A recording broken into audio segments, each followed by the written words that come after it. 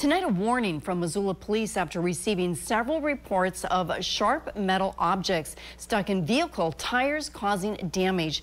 Take a look at this image. The object has four sharp ends and appears to be designed to deflate tires or cause harm. An investigation is underway. If you have any information, contact Missoula Police at 406 552 6300.